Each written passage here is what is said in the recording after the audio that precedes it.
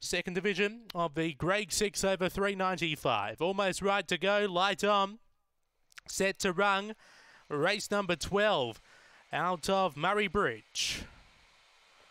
Away, Electra Teddy began well, is carving over out wide. There's speed from Blacklight Burn. They jam up. Electra Teddy finds the front by a length over Blacklight Burn. Four lengths away then Tui Vaza with Aston River. Terrific Arnold. Heyday out the back. Turning for home. Electra Teddy on top. Extending by five over Blacklight Burn. Electra Teddy gets up to beat Blacklight Burn. Tui Vaza. Terrific Arnold. Aston River.